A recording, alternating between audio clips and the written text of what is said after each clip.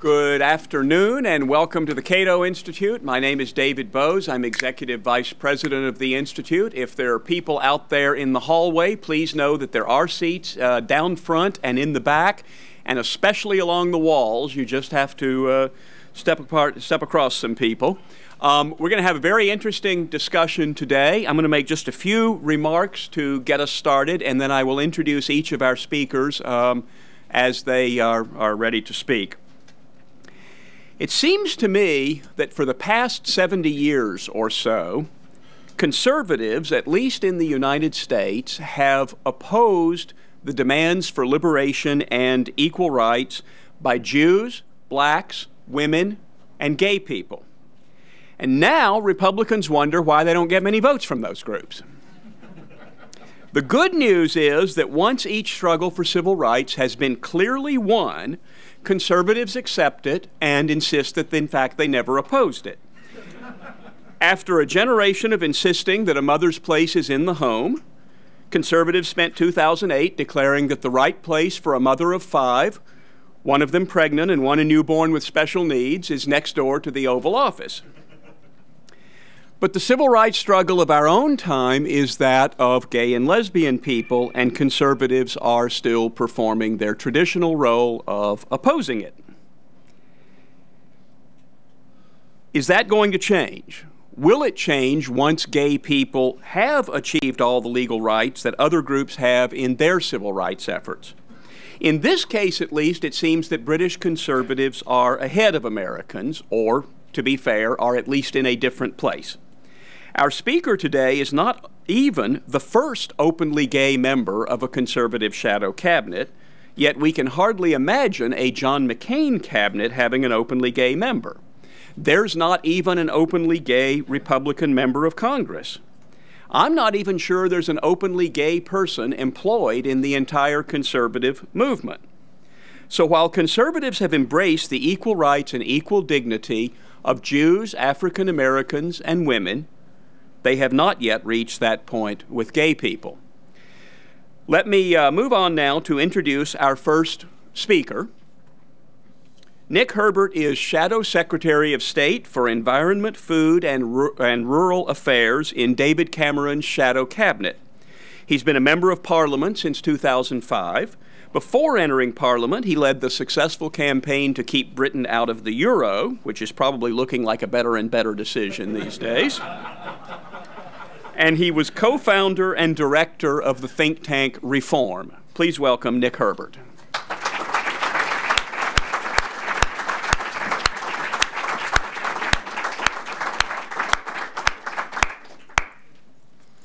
Thank you very much, ladies and gentlemen. I'm delighted to be here at Cato, the guardian of true liberalism. Thank you for hosting this event. And I'm especially honoured to be sharing a platform with one of Britain's most valuable exports, Andrew Sullivan. On the way over, I read Andrew's book, Virtually Normal. He ends by calling for a new politics with a simple principle that all public discrimination against homosexuals should end, and every right and responsibility enjoyed by heterosexuals should be extended. But I also read Hearnshaw's Conservatism in England, written before my father was born in 1932. He concludes To conservatives above all others falls the task of defending the menaced citadel of civilization and maintaining the eternal sanctity of the moral law. Professor Hearnshaw's misguided revolutionaries were not gay rights activists, but his clarion call for a faith based conservatism finds many supporters today. So, can promoting equality for gay people be compatible with conservatism? In discussing this, I'm going to take three things as given. And if they're contentious, they shouldn't be. First, since on most conservative estimates, around 5% of the population are attracted to the same sex, there are more than 3 million people in the UK who are gay and 15 million in the United States. People often speak of gays as though we are a society apart from the rest, living in our own quarter. And a few choose to be apart, but most of us don't. We live in every city and town. We are businessmen and women. We run shops and stack shelves. We labor on farms and in factories. We are firefighters and police officers. We save lives in hospitals. We fight for our countries, and sometimes we die for our countries. Some of us are extraordinary, but mostly we are quietly ordinary. We are not different, and we don't want to be different. We're not asking for special treatment. We are United States or British citizens, proud of our countries, wanting to play a part in our society. And across the world, there are millions of us millions of ordinary people, millions of voters. Second, we can't be uninvented. Being gay is not a lifestyle choice. Our sexuality is a fact. It may be repressed, but it cannot be changed. Doctors don't try to change a person's color, and healers or politicians shouldn't try to change anyone's sexuality. Whether it is given by God or set by nature.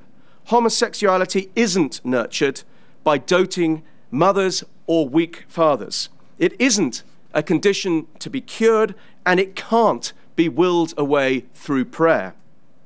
Third, democracies should subscribe to a fundamental principle that all men are created equal.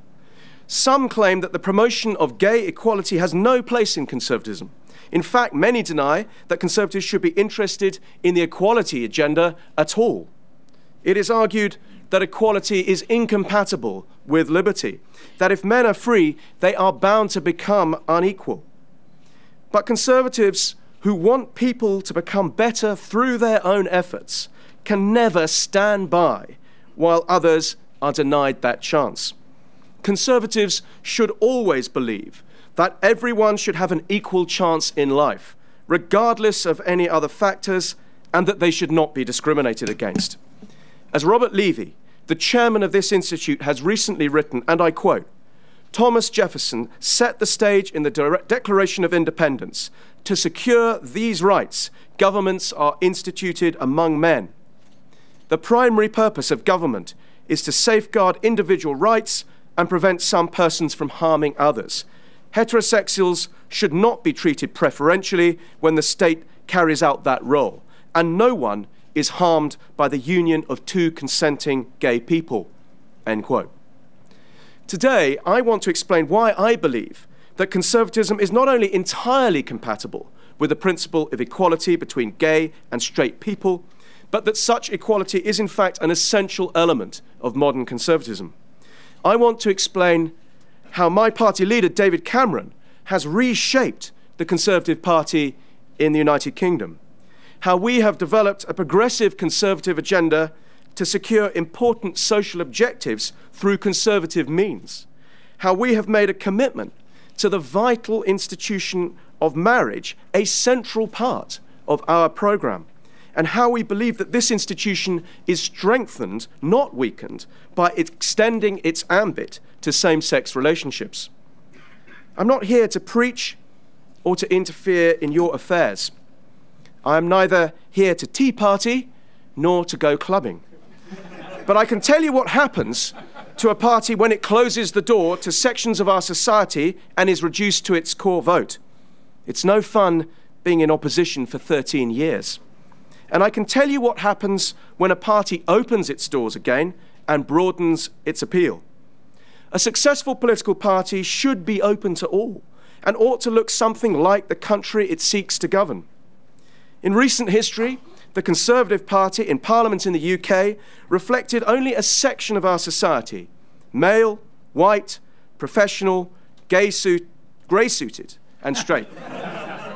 At the last election, of our 193 MPs elected, just 17 were women, only one black, and two were openly gay. If we were truly representative of the country, we would have 99 women, 16 black or minority ethnic, and 10 gay members of parliament. So our party leadership recognized the need to change, Change because we're a national party which needs to be able to speak to and speak up for all sections of society in all parts of the country. As David Cameron said on Monday, unless you can represent everyone in our country, you cannot be a one nation party. Change because we need to reconnect politics with a public who are increasingly disillusioned with a political class. And change because it was the right thing to do to promote an environment where people can succeed and live without fear, regardless of their gender, colour, or sexuality. We now have more female candidates, more black and minority ethnic candidates, and more gay candidates fighting at the next election. In fact, if we secure a majority in the House of Commons of just one seat at the election which will be held in the United Kingdom within 100 days, we are likely to have more openly gay MPs on our benches than the Labour Party. The Conservative Party leadership was not alone in recognising the need to change. Gay candidates have been selected by local party members, not imposed by the leadership.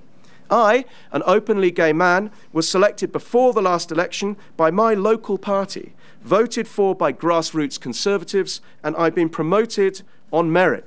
I'm one of two Conservative MPs who have taken out a civil partnership thanks to legislation which, to their credit, the current Labour government introduced, but which the Conservative Party supported. I led our party's support for a new law to prevent the incitement of hatred against gay people, subject to our concern that temperate comment should never be criminalised. And our party leader, David Cameron, has publicly apologised for Section 28, legislation introduced by a previous Conservative government which effectively prohibited the teaching of the validity of gay relationships in schools, a law which was deeply unpopular, not just amongst gay people, but with those who saw it as a divisive and unpleasant sign of state intolerance. We needed to say sorry for a stance that was wrong, and we showed that as a party we were willing to admit mistakes and set a new course and I believe we are stronger for that.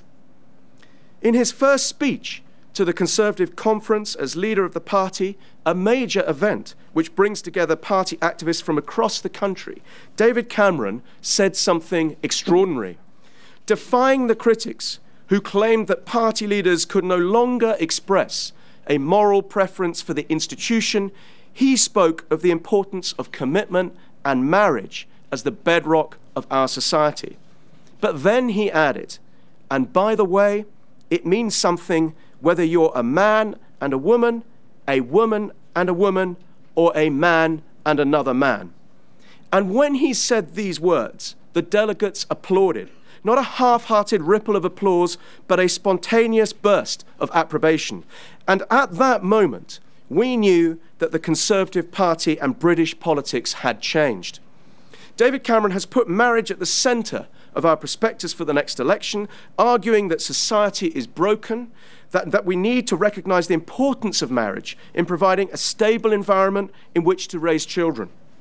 But in supporting marriage, he has not done so in such a way as to denigrate or even exclude gay people. In fact, the opposite, because we've recognized that commitment and stability are important in all relationships.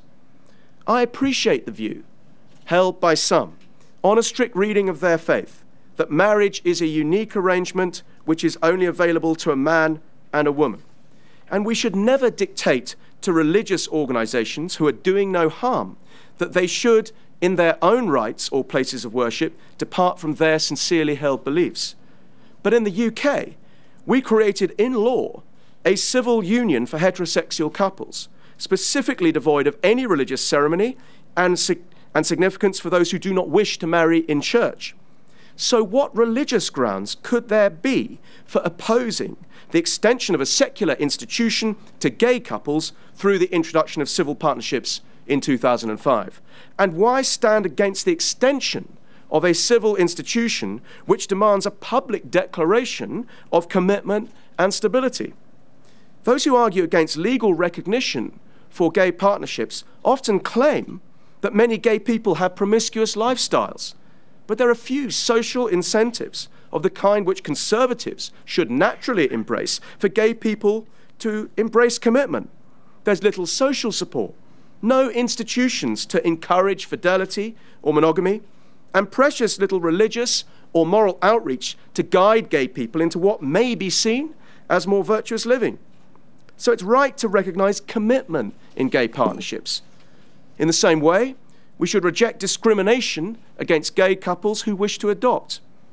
I believe that the best parental arrangements are represented by a good father and a good mother, and children should never be treated as some kind of high value consumer good.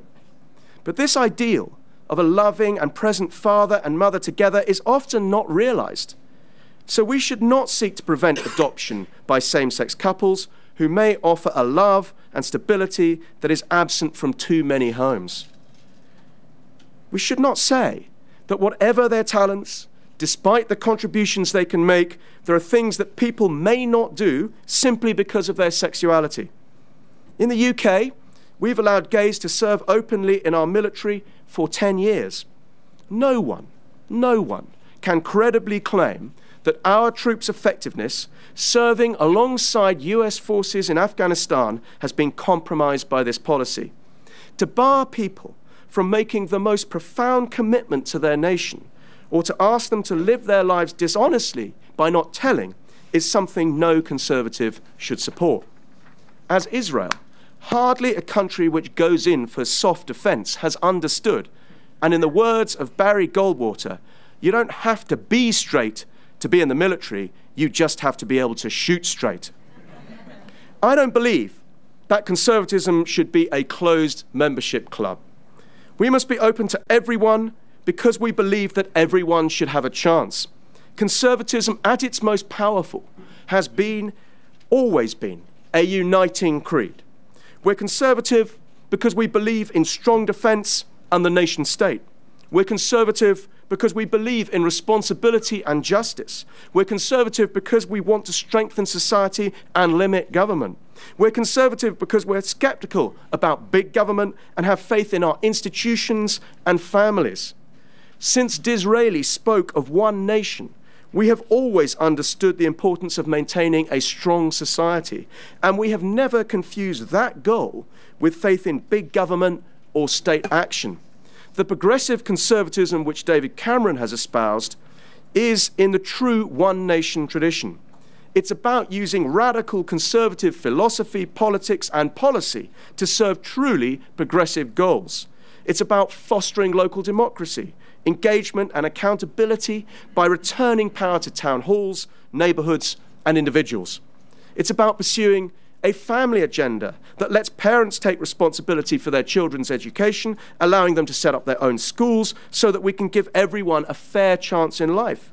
It's about developing bold approaches to tackling poverty and inequality in all its forms, engaging more actively with a voluntary sector, and encouraging a revolution in social responsibility. And it's about recognizing that there is such a thing as society. It's not just the same thing as the state.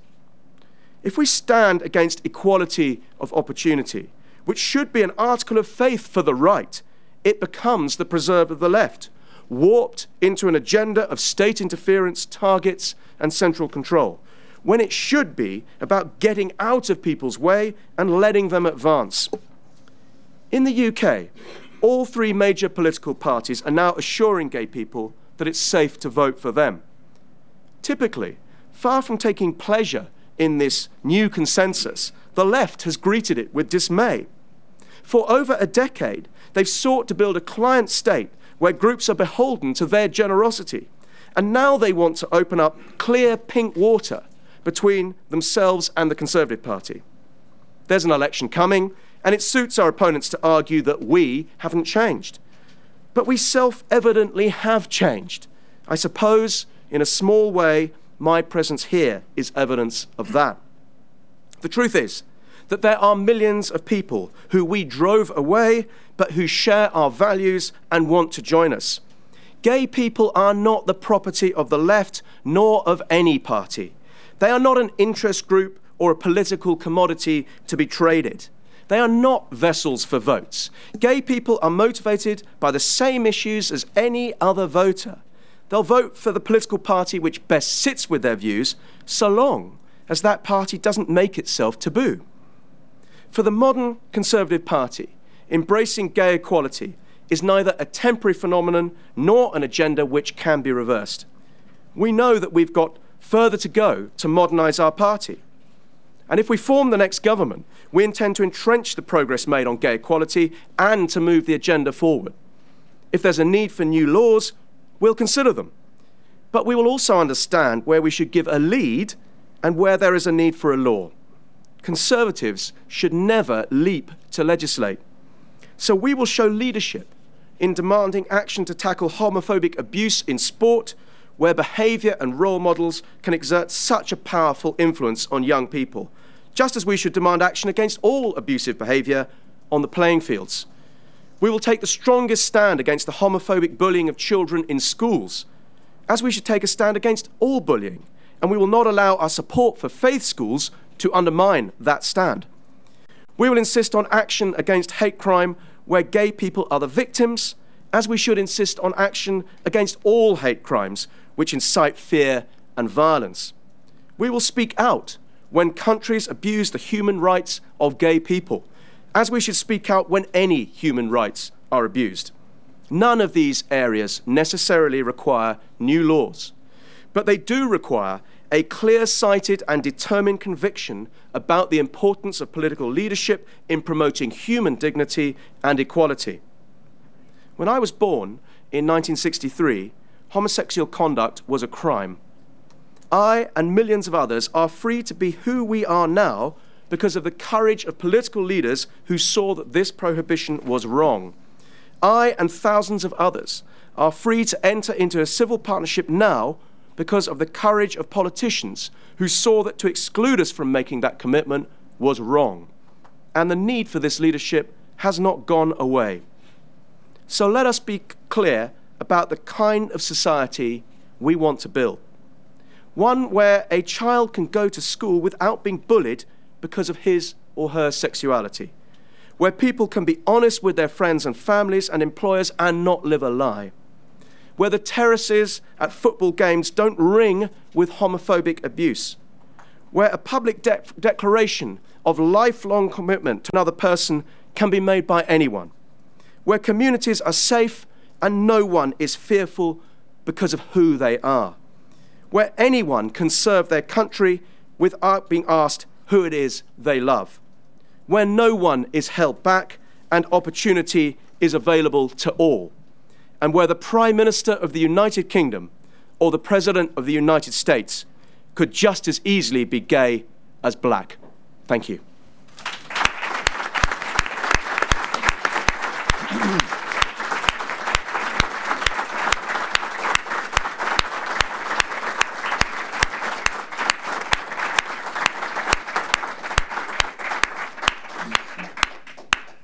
Thank you, Nick. It's rather gutsy of a Brit to make a Tea Party joke in the United States. But the, uh, the oppressive government we worry about today is the one on this side of the Atlantic. um, our second speaker today, Andrew Sullivan, is best known as one of the first and one of the most controversial political bloggers. Uh, judging by the reactions I got when I sent out the invitation to this meeting, controversial seems to be putting it mildly. Um, of course, before the blogging, he was the editor of the New Republic, where he won three National Magazine Awards and one Editor of the Year award. He holds a PhD from Harvard, and his books include Virtually Normal, an argument about homosexuality, and The Conservative Soul How We Lost It, How to Get It Back. Please welcome Andrew Sullivan.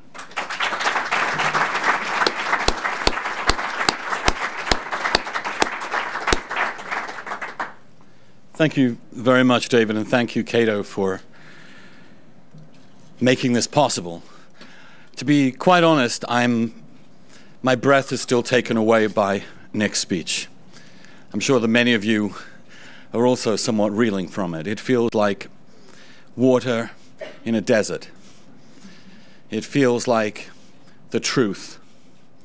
And for those of us who have been gay and also understand ourselves as in favor of all the things that Nick has said individual responsibility, individual freedom, limited government, the family.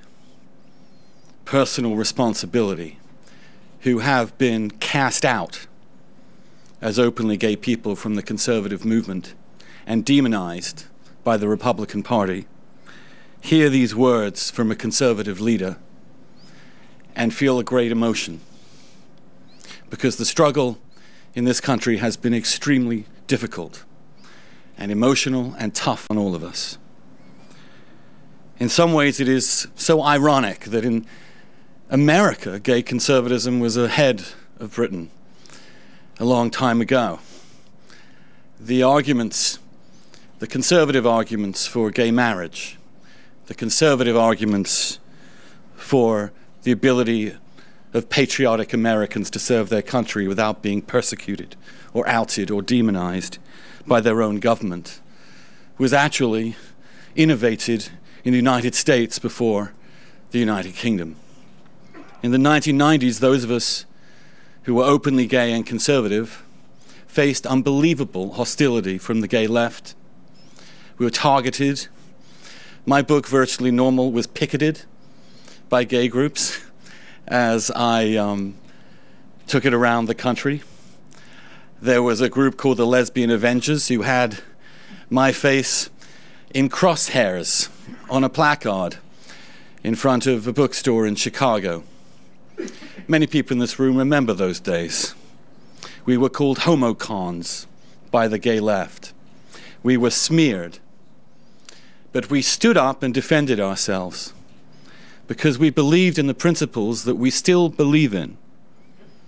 And those principles are actually slightly to the right of you, Nick. um, I'm actually more of a Thatcherite than a One Nation Tory. I actually disagree with all hate crimes legislation. In Virtually Normal, I even opposed employment anti discrimination laws. I've since changed my mind on that simply because the abstract theoretical argument I was making has been rendered moot, I think, by the simple facts of our politics. But I remain an implacable foe of hate crimes laws. And I also remain, because I am a conservative, in favor of marriage rights rather than civil partnerships, because I believe the family is important, and because I believe that gay people are members, integral members of our own families, and we deserve not to be cast out of them or segregated from them as we grow older.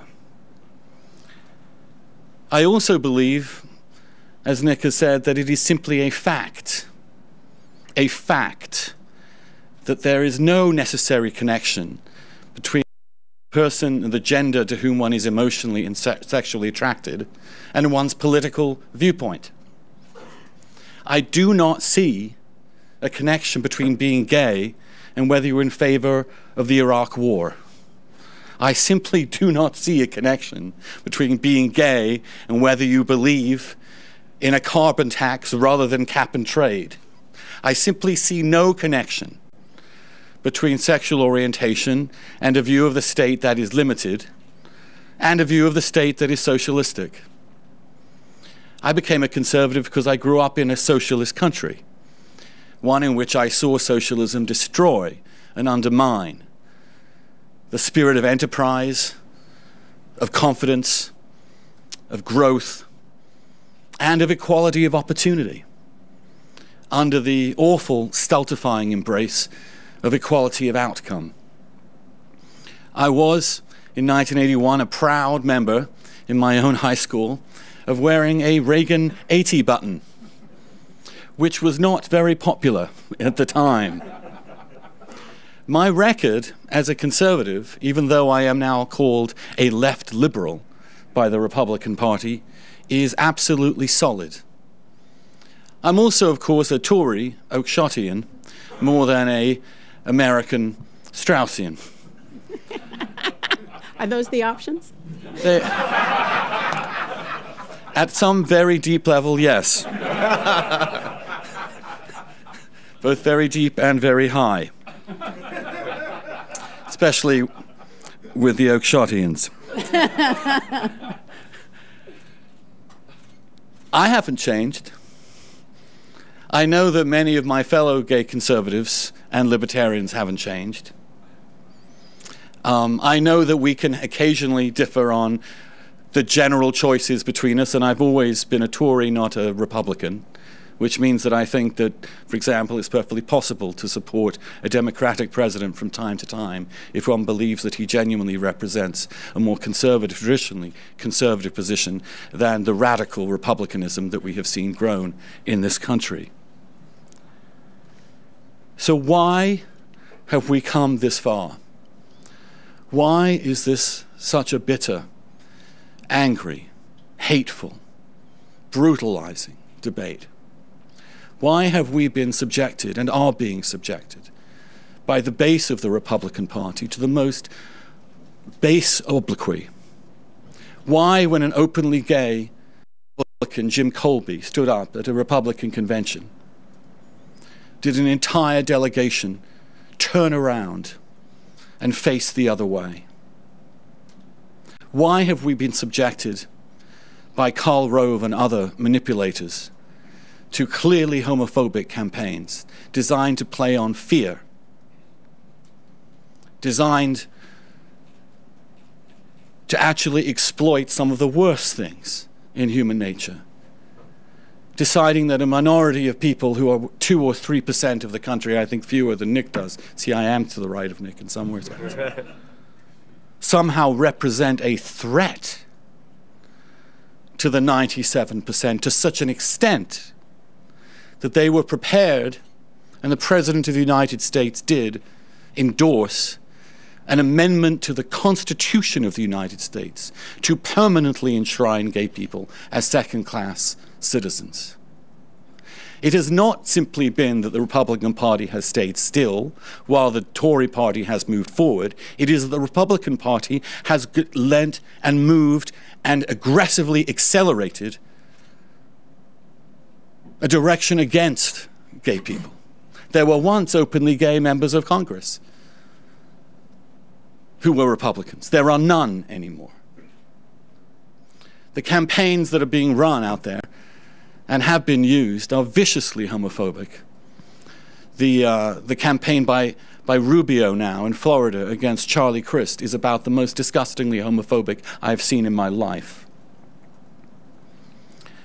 The reason for this is quite simple, and it's what I've tried to explain in my book, The Conservative Soul. The Republican Party is no longer a political party, it is a religious organization whose fundamental beliefs are in religious authority, fundamentalist truth, and obedience to a supreme and important leader called the President, who has uncontrolled power within our Constitution.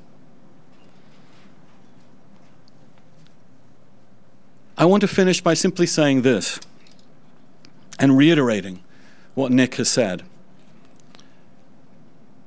Gay people in this country, despite all of this, despite an atmosphere in which we were abused, despite an atmosphere in which Karl Rove, when challenged about why he was doing this, simply said, It's about the numbers. There are more of them than of you. It's about a Republican Party whose soul has been corrupted by power and by a false understanding of what religious faith is about. And when I see how gay people have served their country, have lost life and limb, are today out there in Afghanistan and Iraq and around the world fighting for us and our freedoms, only to be treated as subhuman by their own governments even to be treated to the kind of rhetoric we saw in the Senate only recently. It saddens and grieves me as it should any decent person. I also want to say that the arguments that I've made and made now for 20 years in favor of marriage equality were not ever, ever, ever, ever meant to be in any way an attack upon the family. I cherish the family. I love the family. I love the heterosexual family. I revere heterosexual marriage like so many other gay people. And when my own family and my husband's family came together, and our mothers took us up the aisle together, and our nieces and nephews, flower girls and ring bearers, were able to unite two families and celebrate our commitment to one another for the rest of our lives, and we mean it. It was a profoundly integrating, beautiful, moving, and indescribable experience. To have grown up as a kid, and the first thing you know when you realize you're gay, and the first thing people used to know in my generation was that you would never be able to have what your parents had. There was something so deeply wrong with you that you couldn't even be a part of your own family. That your brothers and sisters looked forward to that special day. The most important day of your life, they told us. That's what I was brought up to believe, because love is more important than career and money. That when we were told as kids and we figured out we were gay and we knew that that could never happen to us. For nothing we had ever done, the psychic wound and pain that it inflicts and still inflicts every day on young children distorts the psyche, warps the soul, destroys the spirit. And in that moment, when we got married, I have never been prouder of my two families my mother in law and father in law from Michigan. My mother in law worked for 30 years as a school bus driver in Michigan. Al Qaeda could not defeat her in a second. She brought a caravan of goods and food to support us.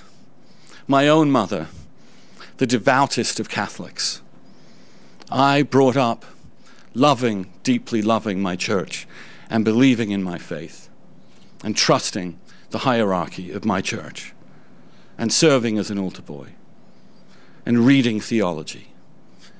As a Catholic in England, where it wasn't that easy to stand up for one's own faith in a culture, to have that institution also wage a cruel and really abusive war on gay people was also something that it is hard to describe. But we have withstood it. In this country, those of us who proudly call ourselves gay conservatives have struggled against the gay left, and now we are struggling against the far Republican right, which is now the Republican Party. But in that moment, when we got married, none of that mattered.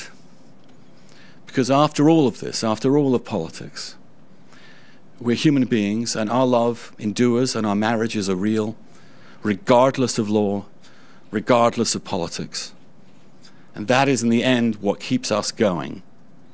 Because we know we're right, and we know that God loves us, and we know that as conservatives, we have fought the good fight against forces other people don't begin to understand.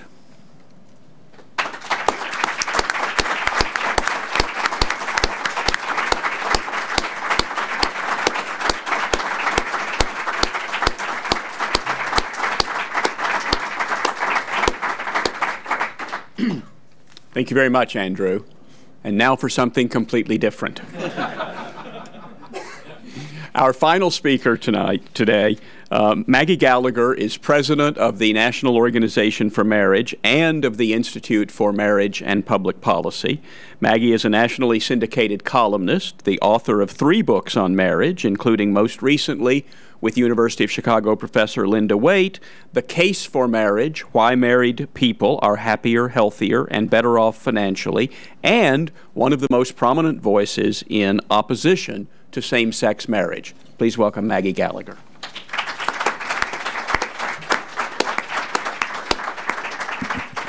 Well, thank you. I, I, should say off the start that I didn't come here to debate same sex marriage. I'll issue an open invitation to come back if that would be.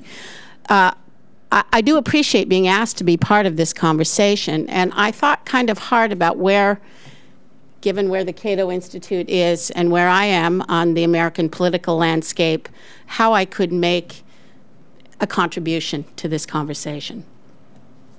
I do want to say, Nick, uh, first of all, thank you for coming all this way in the middle of an election season. Um, I, do know openly gay people who've worked for my organization. Uh, I'm not going to out them here because I think it may make it hard for them to get a date, but I do believe, I do understand. The weird thing you know from my position is that gay people are not a monolithic block, not even on gay marriage, that there are gay people who believe many different things. And those who want to come and work with me to protect marriage as a union of husband and wife are welcome. Um, I also feel like I should apologize. I do think this is the, the question on the table is Is there a place for gay people in the American conservative movement? And I feel strange that I'm here at Cato kind of representing American conservatism in, in some sense with a, a, a British conservative. And um, I don't want to say that uh, I accept that Andrew is a conservative, but he's the very small contingent of pro Obama conservatives at this point, right? So uh, I know that uh, I'm not the best person, really, to speak to the broader question of the American conservative movement before a Cato audience, except that, like Andrew, I'm actually a pre Reagan conservative. We're the, probably the youngest people uh, in America who can say that. And when I joined the conservative movement, I was a libertarian. And I believed that joining, becoming a conservative meant that you would likely never have any influence in major institutions in American politics. So not only the strange ride of gay marriage, but Andrew probably also shares with me that sense that there is something called a conservative movement. It is important in American politics and in other ways, is an extraordinary achievement of American politics. I don't know of many people, here's the problem, I don't know of many American conservatives who look at Great Britain and say, we wish American politics were generally more like that right? I mean, I don't, with all due respect, I, am not here to say what a British conservative should believe. But it seems to me um, that America remains a unique place for the protection of liberty for classical liberalism, which I share, and that the disputes we are having over gay marriage in particular are disputes within a family that we need to have. Okay? It's very hard to make the argument here that Nick did that for political reasons we need to do this, and you'll notice that Andrew didn't make that argument. Um, if a political party should look like the country somewhere between 55 to 60 percent of Americans, even as they support gay rights, think this marriage thing is something else. Gay marriage is not right. The most recent Gallup poll, if you ask Americans whether gay marriage would be good for the country or hurt the country, 48% say it will make the country worse off, 13% say it will make America better off. So if we're going to have an argument about incorporating gay marriage into the heart of American conservatism, it simply can't be about how it's politically necessary. That I mean, I, I, I don't know how many of you would disagree with me. Maybe down the road, maybe after the Supreme Court rules. Um, you know, when I first looked at this question, which I did not treat as a question about gay marriage, I, mean, I had a problem understanding what the question is because, it, you know, having been in the conservative movement back when we never thought we'd ever have any power or influence and we couldn't take any respectable job, um, I'm highly aware that there have always been gay conservatives. There's always been gay people in the conservative movement. A political movement is not a church. It's not about purity where we all believe all the same things. It's a coalition of people who believe that they can achieve more good for the country working together than, as some people decide in the end, that their core values cause them to break with this big, loose coalition. So the question, underlying question seems to be do we read social conservatism out of the conservative movement? Or, to put it in a more positive frame, how do we reconcile a movement for gay rights with the large chunk of traditional social conservatives that are part of the movement, of the conservative movement? I don't think that Nick's solution is going to work in America in any foreseeable future. I mean, I don't. I think it asks of social conservatives that they cease to exist and cease to be who they are.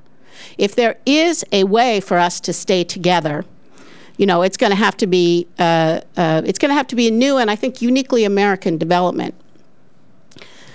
Andrew perceives, and I know a lot of people, probably a lot of them in this room, perceive the problem as the incredible aggression on the part of the Republican Party on gay issues. I translated in that in my head. I mean, what has happened in just a few years in my lifetime is that the idea that to make a marriage you need a husband and wife is now experienced by many gay rights people, gay people, as angry, hateful, and aggressive. We don't experience it that way, right? We, this is the way it's always been. We believe it's important. We're out there using the democratic process, our core civil rights, to fight for something we think is true. And it saddens me, I accept it, that people now hear this, this language in itself. If I, I went on the radio in Maine and I said, marriage, unions of husbands and wife really are special. They deserve their unique status because these are the only kinds of unions that can make new life and connect those children in love to their mother and father. And the radio announcer, who I don't think was gay, I think he was a white liberal, turned to me and said, I can't believe I'm hearing such bigotry. So I accept now that we live in a divided America where words that would once be thought not angry or hateful or aggressive, but kind of beautiful, even if you disagree, are heard by an increasing number of Americans as angry, divisive, and aggressive and denouncing of gays. I don't know what to do about it except to name the problem in the hopes that maybe being Americans, we can work out something different. I think Nick also asked a key question. Let me just tell you where I think the deep conflicts between gay rights and American conservatism lie. He asked the question can promoting equality for gay people be compatible with conservatism? I think the answer, if that is the question, the answer is it's very difficult. The problem from my point of view, and I do think it would, it's an intellectual contribution that people who disagree with me can wrestle with, is that if gay rights are understood as liberty interests and rights, they are extremely compatible with American conservatism. But equality rights uh, and arguments lead to the expansion of government power, to repress and stigmatize and marginalize those who advocate for and institutionalize around ideas that are contrary to basic democratic norms of equality. Hence, Nick is saying that the government should be involved in the schools, in the sports arenas, in faith schools. Did you hear that? As well as in the family. And I don't know if he would promote that, but in Quebec, they're now arguing that anti homophobia uh, should be used in every, to, the government should be combating homophobia not just violence or bullying or harassment, but objections to homosexuality in every institution in society. It is very hard to make that compatible with the vision of American conservatism. We are in a city right now where our churches, Catholic Charities, has just announced that it must get out of the foster care and adoption business. It's not about whether gay people can adopt, they can adopt here. It's about whether you can run one Christian adoption agency, right, that will not do gay adoptions because it's contrary to their vision of the best thing for children. And the answer in the DC City Council when the church asked for religious liberty exemptions was no. This would be accommodating and tolerating and promoting bigotry, and we're not going to do it. There will be gay conservatives like Andrew who say, well, I don't really support that but because the heart of the movement towards equality drives in this direction. You know, we're going to have to really work very hard. A lot of I work very directly on the gay marriage movement, and I will tell you, it's not scaremongering. People are scared. Okay. I know that it's very hard for gay people, given the what you've experienced in America. And I always I told Jonathan Rauch, our people are wussies, right? I get it. But people are waking up in an America where suddenly their deepest core moral convictions, they're being told, are the moral and should be the legal equivalent of racism. It's pretty striking, and people are pretty scared. Whether we can move beyond that situation, and I actually believe we can because I do think America is different. But it's going, we're going to have to decide that we want to do it. I mean, both sides are going to have to decide that we want an America where gay rights are about liberty and not an America where gay rights are used as a club to move through institutions to repress moral disagreement civilly expressed. Okay? Because otherwise, we're creating an America where you cannot be a good Christian in the traditional sense and a good citizen. That's a very hard place for a country where you know 85% of Americans are Christian and about 40, 45% show up in church. Um, Great Britain is not a model for me in this because I'll tell you what you probably don't hear about. This is again has to do with information networks. I hear about the Catholic principal of a school in Great Britain who was told he could not fire a principal who entered a gay civil union. And what they said in Great Britain is we believe in religious liberty. We have religious liberty. If you were if he were the religion teacher, he could be fired. But being the principal of Catholic school has nothing to do with representing the Catholic faith or doctrine. You probably don't know about the Anglican bishop who was fined 100,000 pounds because he refused to hire an openly, actively, proudly gay youth minister in his diocese, right? The sky didn't fall, the government does that, right? You probably don't know about the Canadian charity. it's an evangelical charity. They run developmental home, homes for developmentally disabled adults. Evangelicals, I mean, I'm Roman Catholic. They're they're different, okay? So they their vision of who counts as an evangelical, who they want to hire, includes a very long morals clause. And you're not supposed to drink, you're not supposed to use pornography, you, you, no, no sex at all, except within the context of a heterosexual marriage, an opposite sex marriage. And uh, the government of Canada stepped in, and uh, one of one of their employees decided that she preferred to be in a civil union with a or a mar- I'm not. She had a partner who was a woman, and she was let go, and she sued. And the Canadian government not only said that she has to be rehired, but this is the touch, the, the, sort of the Orwellian touch, that the Christian organization must submit a re-education plan for all of its employees, you know, explaining what what bigotry is in the Canadian context. So um, I appreciate where Andrew is coming from, and I'm here today only in the hopes that some sort of honest revelation of not only our hopes, but our fears and our concerns in some way that I cannot see right now can lead down the road to a better place than the place that Great Britain is headed. Thank you.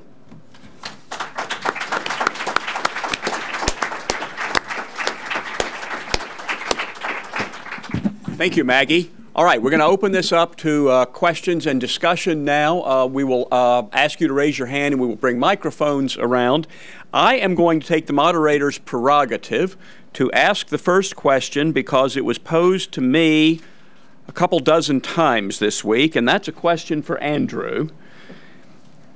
Andrew, the last time you were at this podium, I think, you were discussing your book on conservatism, and I asked you then if you weren't really more of a classical liberal than a conservative. And listening to your moving and eloquent speech today, um, I might still raise that question. But can you be either a conservative or a classical liberal and support not just President Obama, but his vast number of expansions of government?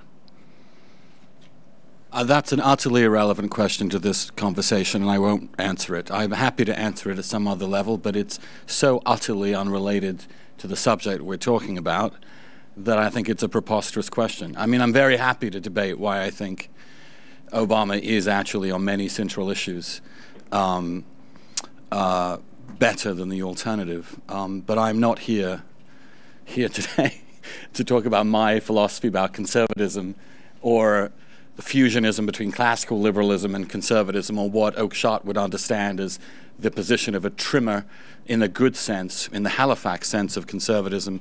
So I, I regard that question as absolutely preposterous and irrelevant. all right. Well, I can.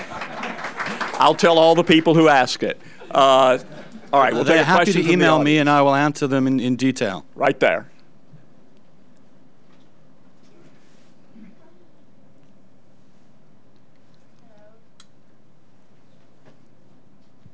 Hi, I'm Rachel Venezia, an intern at the Cato Institute. And I was wondering about, particularly about Herbert's comment about adoption.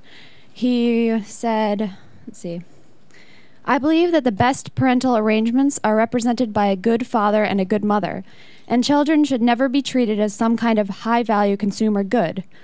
But this ideal of a loving and present father and mother is often not realized, so we should not seek to prevent adoption by same sex couples. And I was wondering this seems to imply to me that you think that the state should first try to seek a loving mother and father, and then if none can be found, then they should resort to allowing same sex couples to adopt. And I was wondering if this is what you were trying to say. Um, I'm also interested in Mrs. Gallagher's response to this, as well as Mr. Sullivan's. Also, I was wondering, particularly um, with Mrs. Well, Mrs. one question at a time. Sorry. Okay. One question regarding per person. foster Nick. foster children being adopted by homosexuals. Yeah, no, I wasn't trying to um, suggest that um, gay couples who want to adopt should kind of take their place in a line behind heterosexual couples. The truth is that uh, there there is um, you know a huge shortage of people who want to uh, adopt, and uh, I don't think that we should you know deny the opportunity uh, of children to be brought up in a stable environment. And I believe that that stable and loving environment can be represented by uh, a a gay couple.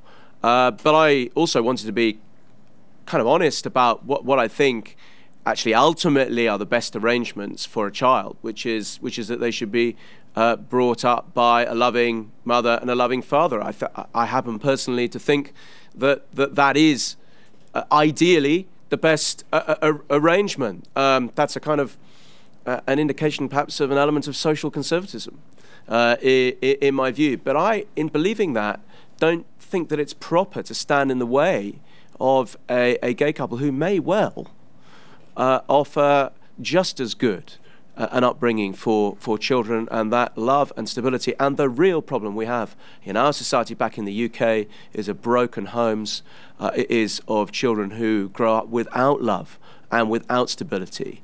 And, and we should be focused on that. Anybody else want to? Okay, take another question. Yes, right here.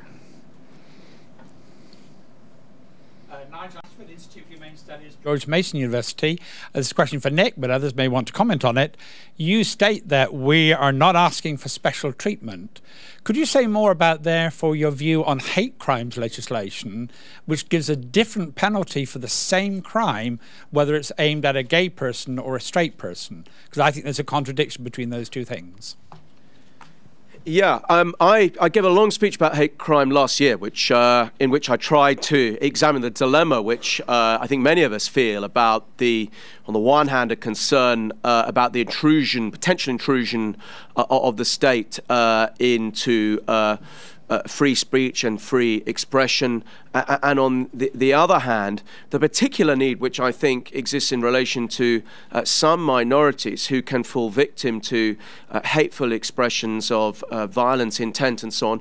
And I think that, that, that what makes hate crime special uh, is that um, it can incite fear not just in on, the part of the individual and the victim, but actually in the whole community. I mean, that is, I think, the definition of what makes hate, hate crime uh, special. The way it, it can make uh, a whole community feel uh, vi- victimized. Uh, I think we need to constrain the operation of uh, hate crime in this sphere carefully so as to ensure uh, that, for instance, in relation to an offense of inciting hatred against gay people, we don't outlaw temperate comment, uh, even if it's comment that we don't like, uh, that shouldn't form full part of, if you like, the criminal uh, uh sphere. So, uh, in in saying that I, I don't want uh, gay people to have special treatment, what I mean by that is I want gay people to be able to be in their communities and feel as safe as anybody else.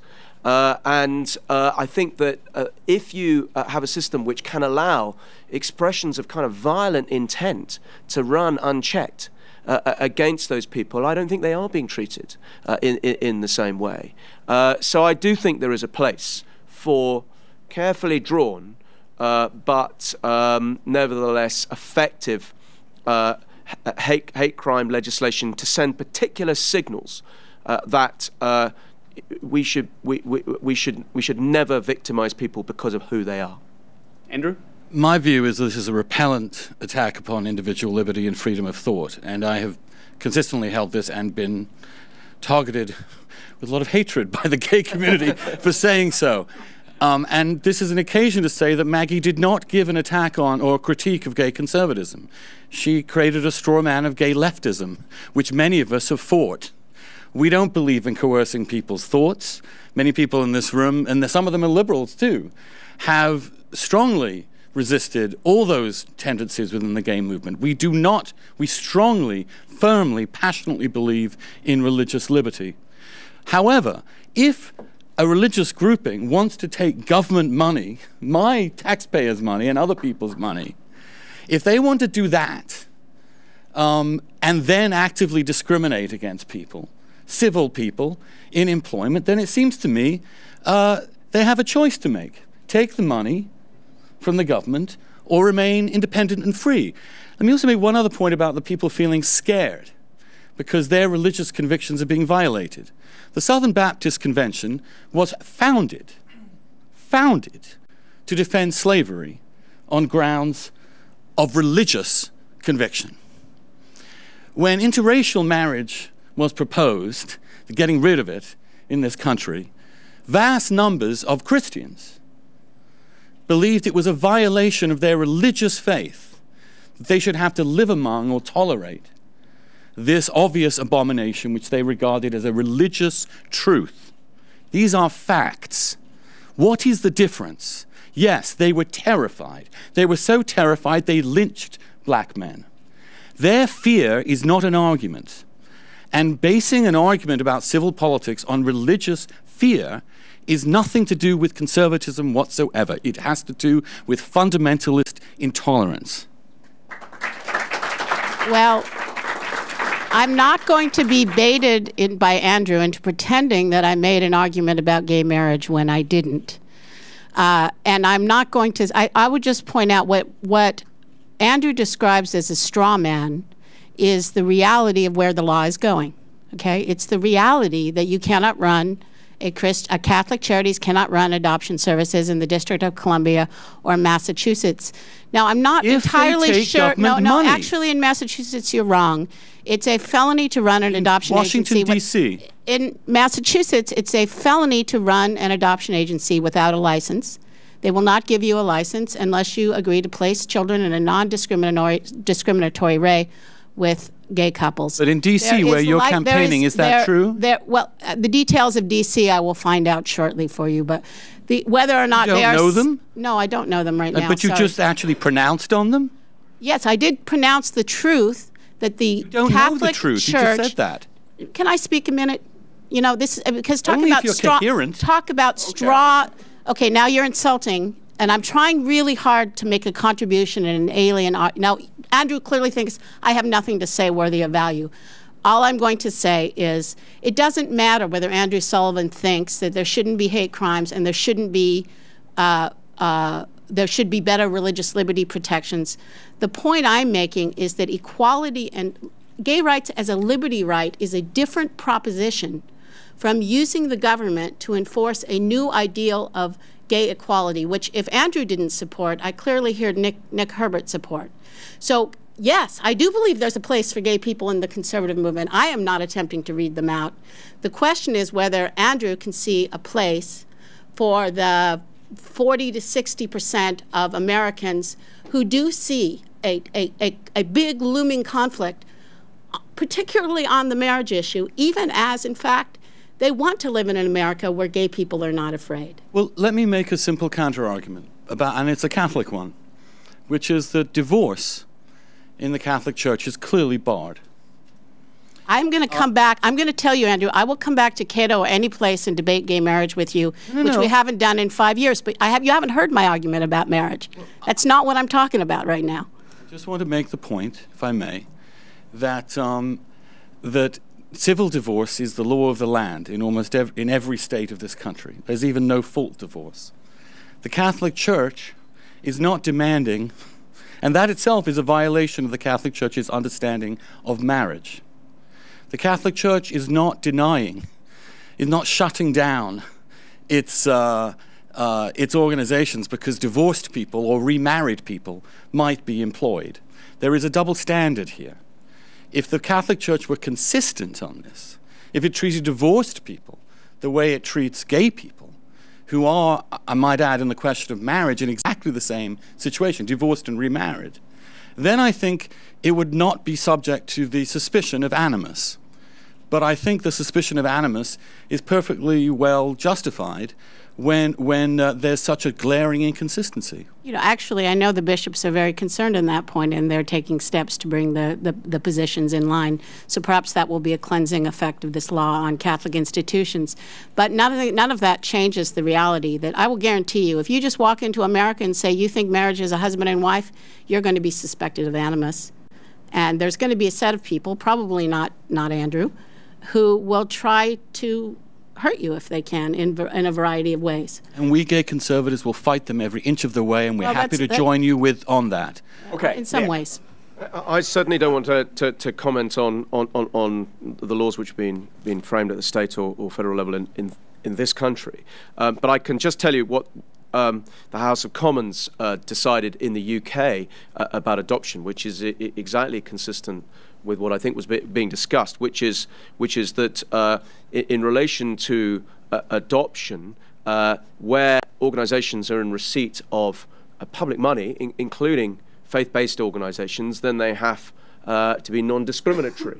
But where they are not in receipt of public money, then they can continue to pursue their policy in relation to uh, uh, adoption according to their conscience. And I think we have to be very careful about interfering uh, in the sphere of conscience or, or discretion on the part of religious organizations. We can't have an absolute bar uh, on it because of situations in which the nominal exercise of some kind of religious re- belief could do, sometimes intended to do, real harm. But we need to be immensely cautious about it.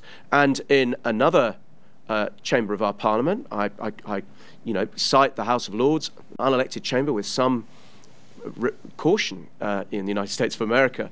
Uh, but nevertheless, that, the, the House of Lords recently rejected an attempt uh, by, by the British government to uh, demand in the current equality bill, which is being discussed uh, before Parliament, that religious uh, organisations should employ people um, including people uh, of a, a, sexual orientation who, which their conscience would uh, demand that, that they, they could not would not be compatible with, with their role in that religious organisation. Uh, uh, the kind of uh, thing that, that Maggie was expressing an objection to, and I think that that rejection by the House of Lords of that proposal was absolutely right because it was an unwarranted inter- interference in the exercise of conscience and discretion by that religious organisation which did uh, not do harm.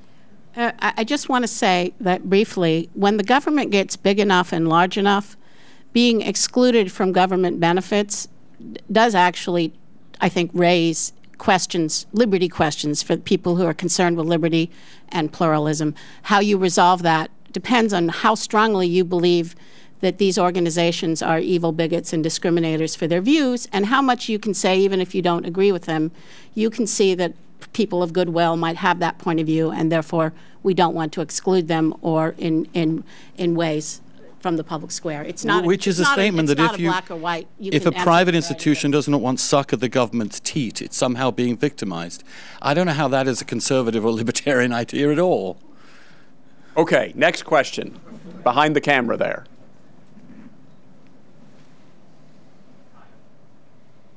Get this on. Uh, James Kirchick with the New Republic.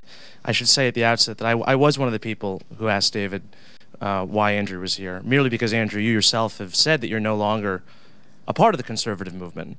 Um, so I think the more salient fact is that in the last presidential election, 28% of gay identified voters voted for the McCain Palin ticket. The actual number of gay people who voted for the McCain Palin ticket was probably significantly higher because I'm assuming a lot of gay people aren't telling pollsters in exit polls that they're gay. So we're talking maybe 35 to 40% as a, as a guesstimate of gay people are voting for the Republican Party. So I don't think you speak for gay conservatives on this issue um, of where the Republican Party is. And I think that's the more salient fact the fact that a third of gay voters are voting GOP. I think that answers the question posed to us today. And in terms of the future, um, it's just a matter of whether or not those gay conservatives are going to fight for their place in the movement. Um, so I'm just curious as to the thoughts of the, of the people on the panel to that fact. Well, Um, I would say that I've been very clear and try. I've written a book, which I urge if people really think and want to understand what I mean by conservatism. I've written a book called The Conservative Soul. Um, I've studied Oakeshott. I've studied Hayek. I have studied Strauss. Um, I think I know a little bit more about it than Jamie Kirchick, uh, to be honest. Uh, and I do not believe that the conservative movement as it now exists in America has a place for a conservative like me. But I do refuse to give up the term conservative because it's something that I believe in. I, I, for example, 73% of Republicans today in a latest poll said they would like to ban openly gay people from teaching in public high schools. In 1978, Ronald Reagan famously opposed the Briggs Initiative in California, which was to do such a thing. I don't think that I am no longer a conservative because I support Ronald Reagan's position and not the bigots that now control the Republican Party. Andrew, I think that you're right that this isn't a debate about whether Andrew Sullivan is a conservative, and I'm happy to just say that if Andrew thinks he's a conservative, he has a number of conservative viewpoints. He's he's a conservative. The question is is uh, whether, given the complex of values that gay people have, does it make sense to be I mean, how, what is the? I mean, I guess one of the questions is, does it really make sense to join the Democrats and the Obama? I don't think this is a new question for. I mean, I actually started thinking about this in the early '90s. I did an early newspaper column because I ran. I lived in Park Slope, Brooklyn, and I ran into a gay guy who runs a small business, and he was saying he's going to vote for Rudy Giuliani, who we now think is one of the more pro-gay Republicans. But believe me, back then in New York, that wasn't the perception. And I started thinking about that. Being gay is an important part of, of who gay people are, but it's not the only part, right? I mean, he's also a small business owner. You know, crime and taxes, lots of things affect him. And just as being, as you say, being gay doesn't mean that you're going to vote in a political collective based on your gay identity. Sometimes it will mean that. And sometimes it will mean in the bigger complex of a commitment to liberty. I would say, here's we are living in an America where gay people are feel more and more free, open, and empowered. This could go in two directions. A chunk of gay people are likely to therefore feel free to disconnect from gay politics as a specific politics. Another chunk are going to raise their expectations and things that were not really that salient. Well, for example, like the marriage issue. In 1990, nobody cared what you thought about gay marriage. Now it's become a symbol of gay aspirations. I don't know what the next thing is, but some people will raise their expectations and make these issues a symbol of whether gay people are respected in this country as well as a practical issue for their lives. Other people will feel that's less and less relevant, and they will decide whether they're conservatives and to vote for Republicans based on whether they think, you know, containing jihadism is better served by President McCain or President Obama, or who's going to lower their taxes, or uh, you know. And I must say, on my part, my worry about jihadism is one reason I supported President Obama after the disastrous uh, wars and mistakes that uh, President Bush made. I think that that was one of the critical reasons I supported President Obama, because President Bush's war on terror was such a catastrophe in so many ways. And as a human being and as a Catholic, I find the, the use of torture by the American government to be something so disgusting. Again, I was trying to not make it about whether Andrew is a conservative or well, not, but I'm, I'm just, saying, saying, that yes, I'm gay people will make just, different judgments based on these non-gay issues. I'm agreeing with you, Maggie. Good. Totally agreeing with you. Okay, I'm going to take a question over here by the wall.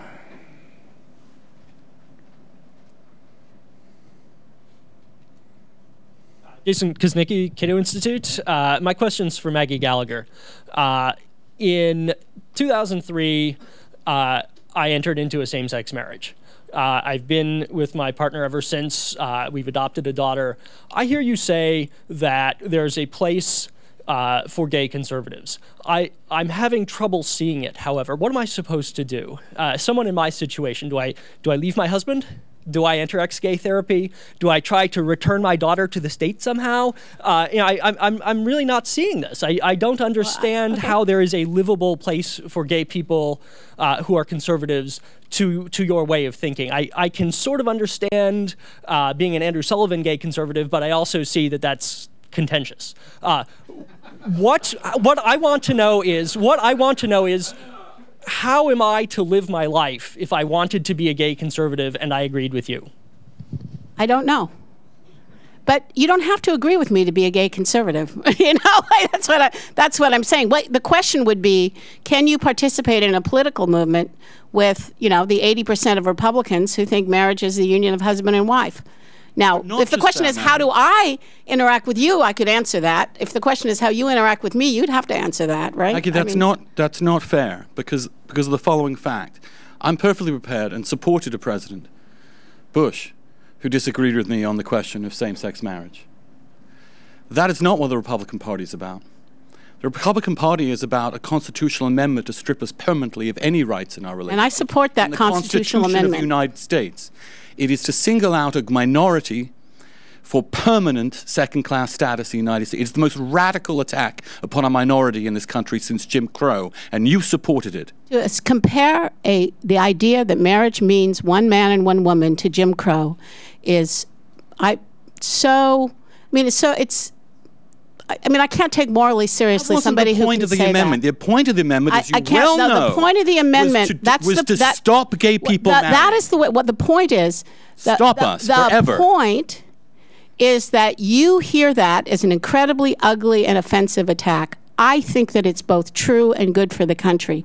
And that for me, that is perfectly consistent with believing that gay people have rights, they're citizens, they're friends, they're fellow neighbors. Can you How name, you put that together? Can you name a single gay person who agrees with you? yes. I told you, I have them, they work for Name me. them. Oh, well, no, I'm not going to name them because I'm not Why going to Why not? them. You told earlier. You said you don't want to out an openly gay person. What an being absurd anti-gay statement. marriage. I'll let them do it. I'm not outing them as gay. I'm outing them as being on my side. statement. Even the most, which means it's not true. The- Okay, now you're calling me a liar. Okay, No, you're I'm just calling saying, name the me- openly gay no, people you're calling me who a liar. supported a constitutional amendment. Well, Okay. There are gay people who Maggie knows who support this amendment. Uh, not openly gay very people. many, but I do know them. They come to me. Sometimes they come to me secretly. I got an email from a guy who told me at, right before Prop 8, this wasn't the federal amendment, but it is a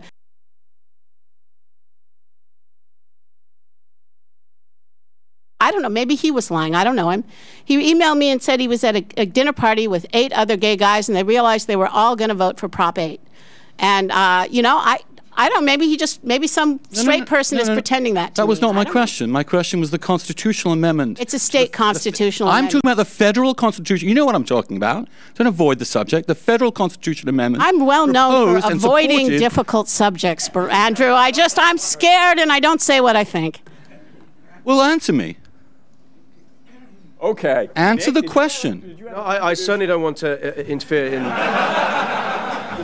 uh, in in this dispute. But um, all, all I wanted to say is is that um, coming out is a, a very difficult process, and the encouraging thing for us in the Conservative Party is that over the course of the last four years. Uh, we found that hundreds and thousands, if not millions, of people have been coming out as conservatives, and uh, at a at, at one uh, Pride March in Brighton, uh, we, we what, by popular acclaim, uh, the, the, the, the gay float in that, in that Pride uh, was considered by far the best because it consisted of, of a lot of uh, young conservative activists who were wearing the t shirt, I came out as a conservative. There are places where that's even harder, right? I don't doubt there's some. Um, all right, I'm going to take one more question right here. Yes. Cohn. I'm a law student at George Mason. And I noticed that this was a GLBT type of um, seminar, but I didn't hear anything about the T part. So I want to ask Is there a role for transgendered people in the Conservative Party? Well, you I, mean uh, the conservative community. There is no conservative party in America. I absolutely believe so. Um, but I will tell you this that the people who control the Republican Party uh, consider it self mutilation. And when you read the hateful, disgusting literature by Maggie Gallagher's allies, people she works with on a daily basis about transgendered people, um, there is no place within the Republican Party for people who are transgendered, I'm afraid. It's going to be really and you- hard. And, and, and I think that is, a, that is a function of pure ignorance at best, uh, and obviously bigotry. So, now you, there is no role for transgender people in the current Republican Party. I believe there absolutely should be. I think a transgender person who, for example, believes that we need to have a strong defense and balance our budget should be welcome. welcome in the conservative movement, even though the Republican Party doesn't believe in a balanced budget and is and has no plans or proposals to cut spending in any way whatsoever, and is fiscally a fraudulent organization. But um, if and when it does come to its senses, I hope transgender people will be fully part of that movement. I, I will extend my invitation from open, openly gay people who want to work for NOM's mission to transgendered people too. Nick, I'll give you the last word here. Uh, well, the answer to the, the question is, uh, I think, yeah, yes, uh, there is, and that the same uh, principles should apply. Uh, I just wanted to say that I, I, I kind of look forward to the, uh, the, the day when we're not having this kind of debate, but instead of having the kind of debate that people, I think, wanted to force on about wider political values and political policies. When I was first elected nearly five years ago, for a photograph with 50 newly elected Conservative members of Parliament at the House of Commons. And each, each uh, person uh, in the photograph of us all together uh, in the Times newspaper had a small caption underneath which described who they were. So uh, with my colleagues, it said things like, you know, uh, businessman uh, or, or, or, or, teacher, um, think tank person believes in small government. There was some small phrase of description. And uh, the description uh, under my photograph uh, just said gay Eurosceptic.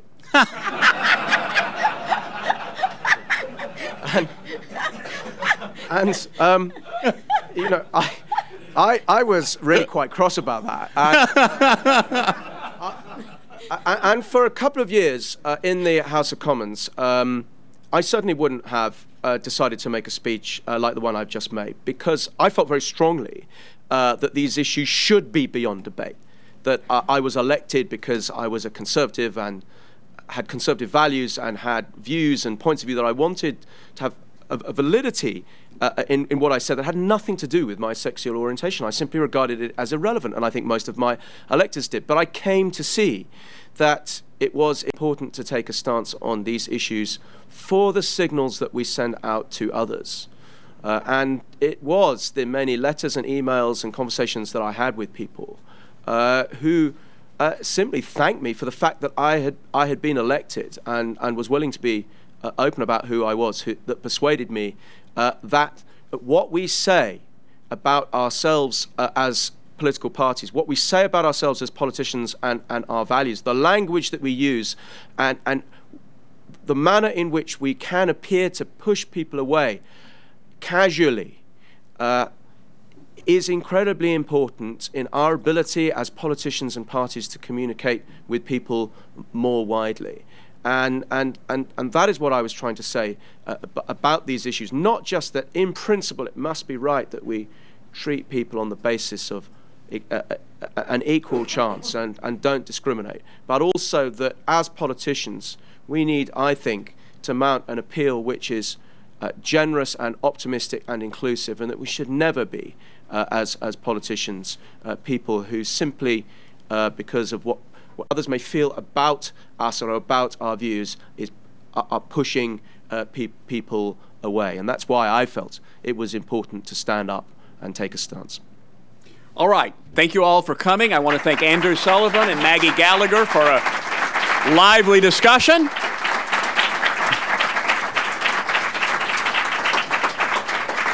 And I want to thank Nick Herbert for favoring us with this uh, important and, and in some ways path breaking speech and wish him safe travels getting back to London for an impending election. Thank you.